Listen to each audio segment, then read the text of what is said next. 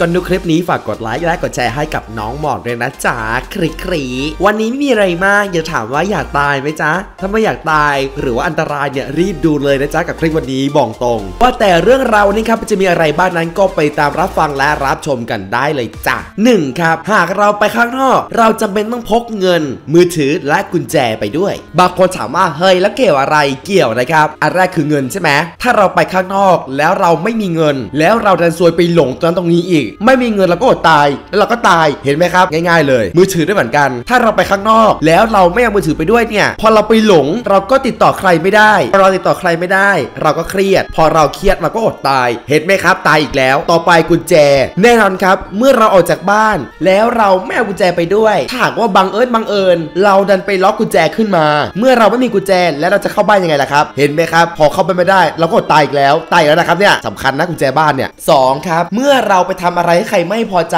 เราต้องขอโทษบางคนบอกอมไม่ได้ ฉันมีศักดิ์ศรีฉันต้องไม่ขอโทษใคร จงจำไว้นะครับถ้าหากว่าเราไปทำอะไรผิดแล้วเราไม่ขอโทษเนี่ยเขาก็จะหาเรื่องเรา เราก็ต้องทะเลาะกับเขา เมื่อทะเลาะกันก็ต้องตบตีกัน เมื่อตบตีกันเราก็เจ็บ เจ็บไม่พอเราก็เสียเวลา ลองคิดดูนะครับถ้าหากวันนั้นน่ะแม่ใช้ให้ไปซื้อน้ำปลาพอดีอย่างเงี้ยกลับบ้านช้า แม่ด่าอีก แล้วเราก็เล่าความจริงให้แม่ฟังว่าเนี่ยไปมีเรื่องมาทีนี้แหละครับแม่ก็ตีเราพอแม่ตีเราเราก็ตายเห็นไหมครับ ดังนั้นรีบขอโทษดีกว่าเนาะจะได้จบๆไม่งั้นแม่เอาตายแน่เลยครับสามครับ เวลาไปเที่ยวนั้นหัดดูประตูทางออกไว้บ้างก็ดีเหมือนกันนะครับลองคิดดูนะครับหากวันดีคืนดี เราไปเดินห้างที่มันใหญ่ ๆ แล้วบังเอิญโชคร้ายนะครับไฟไหม้ห้างควันนี่ขโมงเลยถ้าหากว่าเราไม่ดูอะไรตั้งแต่แรกเนี่ยเวลาเกิดไฟไหม้ครับเราจะไม่รู้ทางออกอยู่ตรงไหน เมื่อเราไม่รู้ว่าอยู่ตรงไหน เราก็จะสำลักควัน และเมื่อเราสำลักควันเราก็จะคลานเพื่อเอาชีวิตรอด สักพักเราก็จะหมดแรง พอเราหมดแรงไฟก็คลอกเรา แล้วเราก็ถูกย่าง จากนั้นเราก็ตายครับ เห็นไหมครับ ตายอีกแล้ว ดังนั้นไปเที่ยวห้างหัดดูทางออกฉุกเฉินไปบ้างก็ดีเหมือนกันนะครับ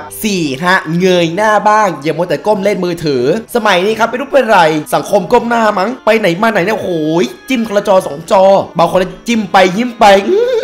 เป็นไรวะ เอาเป็นว่าหากเราครับจดจ่อแต่มือถือเนี่ยเราลืมรอบข้างไป พวกโจรพวกคนร้ายครับ มันก็ใช้ช่องโหว่ตรงนี้แหละครับในการจู่โจมมาป้นเราบ้างแหละกี่กระเป๋าบ้างแหละแอบถ่ายบ้างแหละหานั่นหานี่ให้เราปวดหัวบ้างแหละ เอาเป็นว่าจะไปไหนมาไหนเนี่ยหัดดูรอบๆไปบ้างนะครับว่าใครเนี่ยแต่งตัวน่าสงสัยบ้างหรือเปล่า ใครมีอาการพิรุษใครมีอาการแปลกๆนั้น ให้รีบระวังและรีบระแวงออกประจัดตรงนั้นซะนะครับ ไม่งั้นอาจจะซวยก็ได้บางคนโชคร้ายโดนโจรทำร้ายก็ตายได้เหมือนกันนะครับเห็นไหมครับ ตายอีกแล้ว5ครับครับ หัดดูประตูทางออกฉุกเฉิน บนยานพาหนะที่บริการสาธารณะครับ หากเราพาคุณยายไปขึ้นเครื่องบิน ไปขึ้นรถเมล์อะไรก็ตามนะครับ ต้องดูไว้ว่าทางออกฉุกเฉินมันอยู่ตรงไหน พยายามจองให้ใกล้กับมันที่สุด เวลาเรามีปัญหาครับ สมมติวันดีคืนดีครับ ไฟไหม้ขึ้นมาอะไรเงี้ย เราครับอยู่ใกล้ที่สุด เราจะได้ออกไปก่อนเขาไง แล้วเราจะได้รอดตาย ถ้าเรานั่งไกล เราออกช้า ไฟคอกเราเราก็สุก พอเราสุกเราก็ตาย เห็นไหมครับ ตายอีกแล้ว ดังนั้นครับ ตรงไหนมีทางออกใกล้ๆ รีบไปนั่งเลยครับ ปลอดภัยไว้ก่อนเนาะหกครับหัดออกกำลังกายมือไว้บ้างก็ดีเหมือนกันนะครับ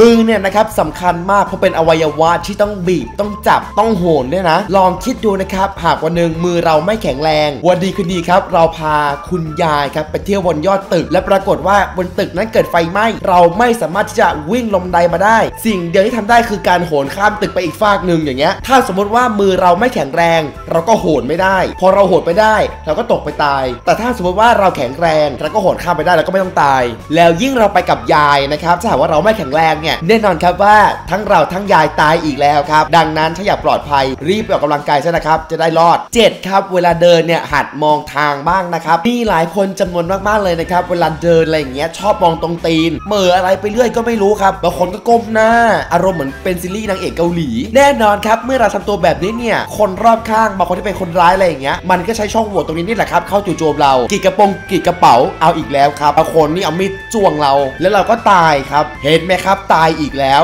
ดังนั้นเนี่ยเราจะเป็นอย่างยิ่งครับที่ต้องดูว่ารอบข้างตรงนั้นน่ะ มีอะไรบ้าง ไม่ใช่มองแค่ตีนอย่างเดียวนะครับ 8 ครับ เมื่อรถจมน้ำท่านผู้ชมครับ หากเราไปขับรถเล่นกับคุณยายที่ทะเล ระหว่างที่รถเราครับกำลังแล่นอยู่กลางมหาสมุทรเลย ปรากฏว่ามันค่อยๆจมจมจมอะไรอย่างเงี้ยทางเดียวที่เราจะรอดนะครับก็คือการใช้ส่วนหัวของเบาะครับที่เป็นด้ามเหล็กฟาด แล้วก็แงะตรงกระจกครับเพื่อให้เรานั้นรอดออกมาจากในรถได้และแน่นอนครับว่าหากเราไม่รู้เนี่ยรถเราครับค่อยๆจมลงสู่ก้นมหาสมุทรอันกว้างใหญ่อันไพศาลและเมื่อจมไปปุ๊บเราออกไม่ได้เราก็ตายครับ เห็นไหมครับตายอีกแล้ว ดังนั้นครับรู้เลยนะครับว่าส่วนหัวของเบาะนั้นน่ะมันจะมีก้านเหล็ก ซึ่งมันก็สามารถใช้ในการแงะกระจกเพื่อใช้เป็นกรณีที่รถกำลังจมน้ำได้อยู่เลยนะครับเห็นไหมครับทุกวิธีวันนี้เนี่ยป้องกันการตายและการสูญเสียได้ทั้งนั้นจำเป็นเกร็ดความรู้ และแน่นอนครับว่ากดไลค์กดติดตาม และเป็นกำลังใจให้พีเจหมอกด้วยเจอกันใหม่คลิปหน้าสำหรับวันนี้ครับผมพีเจหมอ Channel ต้องขอตัวและขอหัวลาไปก่อนแล้วกัน เจอกันใหม่คลิปหน้าสำหรับวันนี้ สวัสดีครับ บ๊ายบาย